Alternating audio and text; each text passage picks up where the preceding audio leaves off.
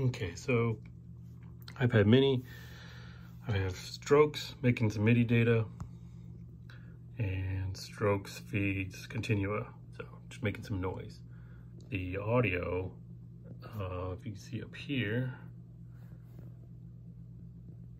1010 black box, or 1010 blue box, 1010 blue box.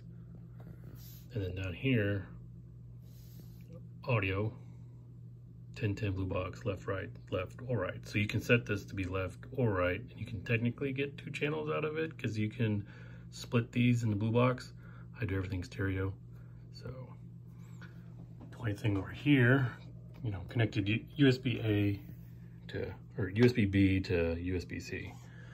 Um, with this, you're gonna wanna use a splitter that can split your power or power PD and then this for data. Otherwise, it just you're powering the blue box from this.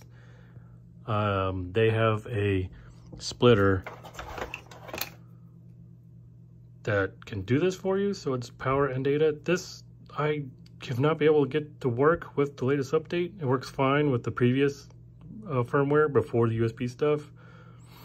Um, but when I use it with this new firmware and try to power it separately and use data, it never wants to finish booting or crashes. It's it's stuck and they, they tell me it's my fault, even though I'm using a three amp power brick for it. So uh, I haven't gotten this to work yet.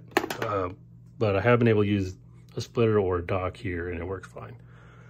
But anyway, up here, if you go to main B, you can see USB receive 5. So I'm sending audio, incoming USB audio to channel 5. You'll see it here.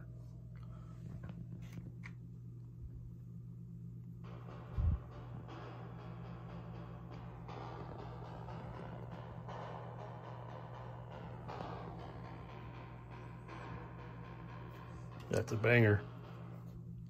Peace.